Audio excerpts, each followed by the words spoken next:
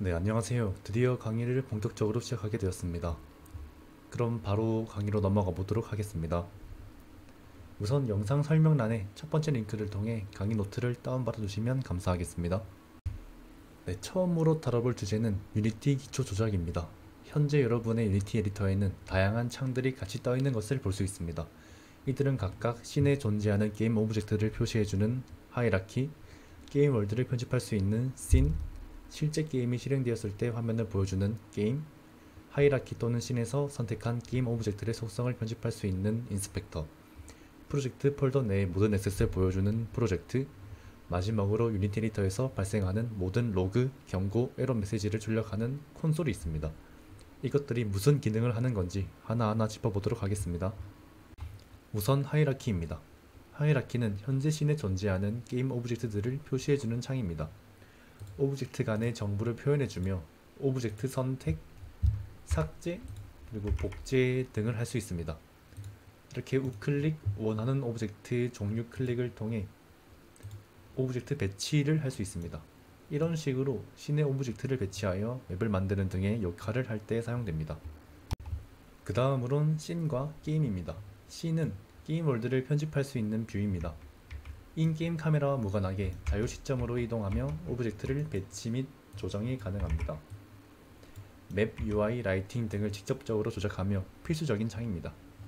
게임은 실제 게임이 실행되었을 때 플레이어가 보게 될 게임 화면, 즉 메인 카메라가 비추는 곳만 보이는 창입니다. 테스트 플레이를 할 때 주로 사용됩니다. 그 다음으론 프로젝트와 콘솔입니다. 프로젝트는 프로젝트 폴더 내의 모든 asset을 보여주는 창입니다. 여러분이 추가한 다양한 resource를 확인 및 관리할 수 있으며 asset을 씬으로 드래그하여 import를 할 수 있고 일반적인 컴퓨터 디렉토리처럼 삭제 이동을 할 수 있습니다. 마지막으로 콘솔입니다. 유니티 에디터에서 발생하는 모든 경고, 로그, 에러 메시지를 출력하는 창입니다. 스크립트의 함수를 통해 출력된 정보를 게임이 실행되었을 때 실시간으로 확인이 가능합니다. 이를 통해 만약 테스트 중 에러가 발생하면 어느 부분에서 에러가 발생했는지 쉽게 파악이 가능합니다. 네, 이제 실습을 해보겠습니다. 유니티의 asset 상점인 Asset Store에서 asset을 다운로드하고 다운받은 asset을 에디터에 가져와 배치해보는 연습을 해볼 겁니다. 우선 첫 번째로 강의 자료에 있는 Asset Store 링크를 통해 asset을 다운로드 받습니다. 네, asset은 이 파란 버튼을 클릭함으로써 다운로드 받을 수 있습니다. 네, 버튼을 클릭하고 조금 기다리면 내 asset에 추가되었다는 문구가 뜨며 유니티에서 열기라는 선택지가 생기게 되는데요. 그걸 클릭해 주시면 됩니다. 그러면 에디터에서 패키지 매니저가 열리게 되는데 여기서 방금 다운로드 받은 asset인 프로토타입 맵을 로컬에서 다운로드 받아줍니다. 네, 다운로드가 완료되면 import를 누르는데 이걸 누르면 특정 파일들만 선택하여 import를 할 수 있는 창이 뜨게 돼요. 저희는 그냥 전부 import 하겠습니다. 그럼 이렇게 프로젝트 창에 에셋이 정상적으로 추가된 것을 볼 수 있습니다. 이제 이렇게 다운로드 받은 asset을 scene에 배치해 보도록 하겠습니다. 네, scene으로 탭을 변경해 주시고요. 방금 받은 에셋에서 프로토타입 그리고 프로토타입 맵 prefab 폴더로 이동하시면 이렇게 prefab이 하나가 있습니다. 여기서 잠시 prefab이란 무엇이냐 쉽게 말씀드리자면 햄버거 레시피와 같은 존재입니다. 게임을 만들 땐 총알이나 몬스터와 같이 오브젝트를 반복적으로 배치해야 하는 작업이 많습니다. 그런 작업들은 일일이 만들기가 매우 번거로운 작업이죠. 그럴 때 필요한 것이 바로 prefab입니다. 정리하자면 prefab이란 미리 만들어둔 게임 오브젝트 템플릿을 말합니다. 자 그럼 다시 실습으로 돌아와서 프로토타입 맵 prefab을 scene으로 drag and drop 하겠습니다.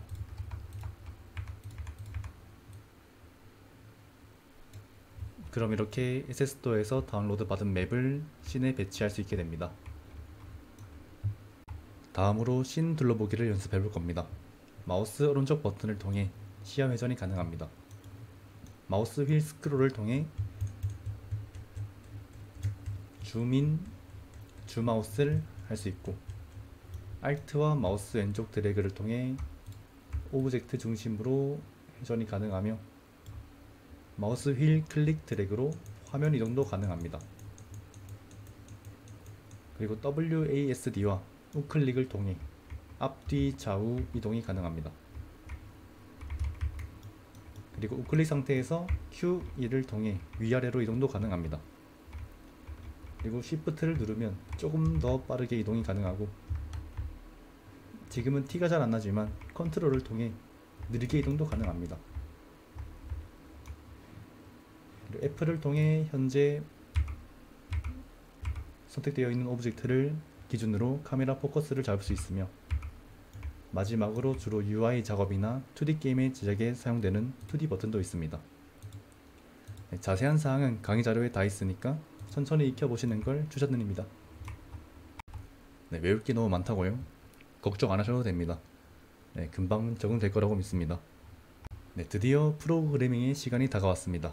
직접 손으로 코딩하며 게임을 만들 생각에 기대를 하시고 계시다면 좋겠습니다. 그럼 바로 넘어가 보겠습니다. 네, 처음으로 C샵 스크립트 생성 방법에 대해서 설명드리겠습니다. 프로젝트 창에서 마우스 클릭을 하여 Create MonoBehaviour Script를 클릭합니다. 그러면 이렇게 샵 표시로 되어 있는 스크립트가 하나 떠 있을 거예요. 이 파일이 흔히 아는 프로그래밍을 통해 오브젝트에 생기를 불어넣는 스크립트입니다. 이름을 Tutorial이라고 변경하고 더블 클릭하여 오픈해 주겠습니다. 혹시 만약 더블 클릭을 했을 때 Visual Studio 또는 여러분들이 사용하시는 IDE가 나오지 않는다면 강의 노트를 참고해 주시면 되겠습니다. 자 그럼 유니티 C샵의 기본 구조를 볼까요? 이렇게 MonoBehaviour와 Start 그리고 Update라는 글들이 적혀 있는 걸 볼 수 있습니다. 그럼 이것들이 뭔지부터 이해를 하는 게 좋겠죠? 자 그러면 저희는 이제부터 저희의 스크립트 전체를 햄버거 가게 즉 집게리아라고 생각하겠습니다. 스크립트를 집게리아라고 생각했을 때 MonoBehaviour는 집게리아의 가게 매뉴얼이라고 생각하시면 됩니다. 즉 유니티에서 스크립트의 기본 설계서 같은 존재인 셈이죠. 또한 모든 스크립트들은 이 MonoBehaviour를 상속받아야지만 오브젝트에 부착이 가능한 스크립트가 됩니다. 그리고 이 매뉴얼 안에 위에서 봤던 Start와 Update 같은 행동 매뉴얼이 적혀 있는 것이죠. 그 다음으론 Start 함수입니다. Start 함수는 출근하자마자 처음 시작하는 일이라고 보시면 됩니다. 즉 게임이 시작될 때 딱 한 번 실행되는 함수이죠. 집게리아에 출근하자마자 재료 준비, 조리도구, 손질을 하는 것과 같은 느낌이죠. 즉 스폰지밥에 비유하자면 Start 함수 안에 재료 준비와 재료 도구 손질이 있는 느낌이죠. 마지막으로 업데이트 함수입니다. 업데이트 함수는 매 프레임마다 실행되는 함수입니다. 스폰지밥으로 비유하자면 스폰지밥이 계속해서 게살버거를 만드는 느낌인 것이죠. 이걸 함수로 표현하자면 대충 이런 느낌일 겁니다. 그리고 강의 자료를 보시면 awake, fixed update, late update와 같은 추가적인 기본 MonoBehaviour의 함수들을 적어놨는데 이것들은 다음에 사용할 일이 있을 때 다시 언급하도록 할게요. 네, 다음으로 기본 자료형에 대해서 설명하겠습니다. 우선 처음으로 int가 있는데 이것은 정수를 값으로 가지는 변수로 소수점이 없으며 음수와 양수 모두 값으로 받을 수 있습니다. 게임에서는 주로 레벨, id 값 등을 판별할 때 사용합니다. 두 번째로 float이 있는데 이것은 실수를 값으로 가지는 변수입니다. 소수점을 표현할 수 있으며 항상 값의 끝에 f를 붙여야 합니다. 주로 체력과 같은 정밀한 수치 조정이 필요할 때 사용합니다. 세 번째로 double이 있는데 이것 또한 실수를 값으로 가집니다. float보다 정밀하며 float과 다르게 값의 끝에 f를 붙이지 않아도 됩니다. 역할은 float과 비슷합니다. 네 번째는 string인데 이는 글자들의 묶음, 즉 문자열을 값으로 가지는 변수입니다. 값을 큰 따옴표로 감싸야 한다는 특징이 있습니다. 주로 닉네임 채팅, 캐릭터 대사 등 전반적인 문장을 처리할 때 사용합니다. 다섯 번째는 캐릭터입니다. 한 글자만 저장하며 작은 따옴표를 사용합니다. 캐릭터는 잘 사용하진 않지만 텍스처 입력 기반 게임에서 사용을 하긴 합니다. 마지막으로 불리언입니다. 논리값, 즉 true, false를 판별하며 조건문에 사용됩니다. 죽었는지 살았는지, 체력이 얼마 이하인지 등 전반적인 조건 체크에 사용됩니다. 네, 자세한 정보는 강의 노트를 참고해 주시면 감사하겠습니다. 자, 그럼 이제 프로그래밍 실습을 해볼까요? 아까 배웠던 자료형들을 모두 사용해보고 이것들을 실제 에디터 콘솔에 출력해보는 실습을 해봅시다. 일단 저를 따라서 코드를 작성해 주시면 되겠습니다. int level은 1 float은 3.14로 하겠지만 float 자료형이기 때문에 마지막에 f를 붙여줘야 합니다.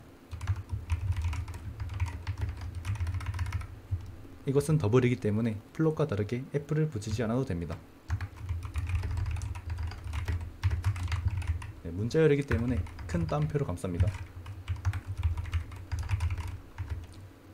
캐릭터이기 때문에 작은 따옴표로 감쌉니다. 마지막으로 boolean까지 작성하면 이제 이것들을 함수가 처음 시작될 때 로그로 모두 출력해 봅시다. 네, 이렇게 작성해 주시면 되겠습니다. Debug Log는 콘솔에 로그를 출력하는데 사용하는 함수입니다.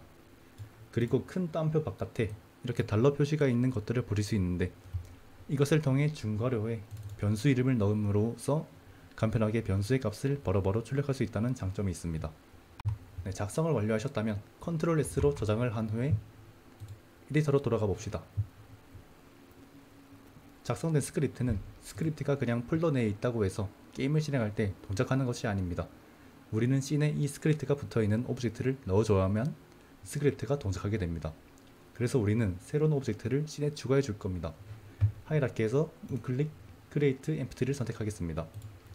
그 뒤에 Tutorial이라고 이름을 변경해 주겠습니다. 방금 생성한 오브젝트를 클릭하면 이렇게 Inspector가 나오게 되는데 방금 우리가 작성한 스크립트를 오브젝트 Inspector에 drag and drop 해줍니다. 그럼 이렇게 오브젝트에 스크립트가 붙음으로써 게임이 실행되면 스크립트가 동작하게 된 겁니다. 네, 시작 버튼을 눌러서 게임을 실행해 보겠습니다. 네, 그럼 이렇게 로그가 출력되는 것을 보실 수 있습니다. 우리는 이렇게 이를 통해 콘솔이 어떤 역할을 하는지 알 수 있었으며 Start 함수의 역할 그리고 자료형으로는 어떤 것들이 있는지 알 수 있었습니다. 네, 이번 영상의 마지막 실습입니다. 이번엔 아까 사용한 변수들을 재활용하여 기초 연산을 수행할 겁니다. 네, 현재 화면과 같이 변수의 값들을 수정해 주세요. 그리고 이젠 업데이트 문을 사용할 겁니다.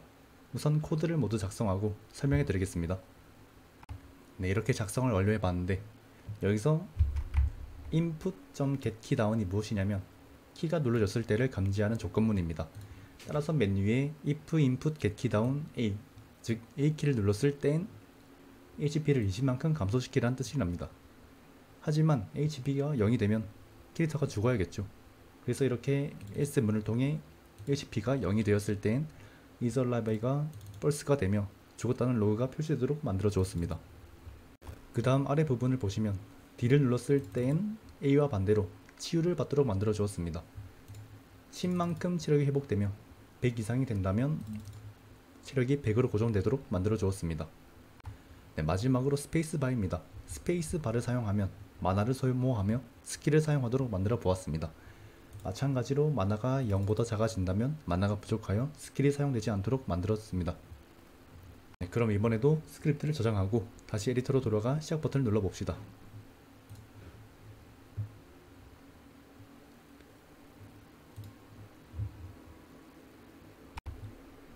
네, 그럼 A를 계속해서 눌러볼까요? 이렇게 체력이 줄어들며 나중에 0이 되었을 때 죽었다는 문구가 표시되는 것을 확인할 수 있습니다. 그 다음 D를 누르면 체력이 10씩 회복되는 것을 보실 수 있죠. 마지막으로 스페이스를 누르면 이렇게 스킬을 사용하며 mana가 소모되는 것을 보실 수 있습니다. 마찬가지로 mana가 부족하면 스킬이 사용되지 않는 것을 확인할 수 있습니다. 네, 마지막으로 과제입니다. 현재는 HP가 0이 되면 사망 처리가 되는데도 불구하고 여전히 체력 회복이 가능하며 스킬도 사용이 가능합니다. 이런 현상을 흔히 게임에서 버그라고 부르죠. 그러니 alive가 false라면 heal 및 스킬 사용이 불가능하도록 버그를 수정하는 것이 과제입니다. 정답은 강의 노트 맨 아래에 있으니 과제 수행 후 찾아보시면 되겠습니다. 네, 이상으로 이번 강의를 마치겠습니다. 정말 수고 많으셨습니다. 도움이 되셨다면 구독 부탁드리며 다음 강의도 기대해 주시면 감사하겠습니다.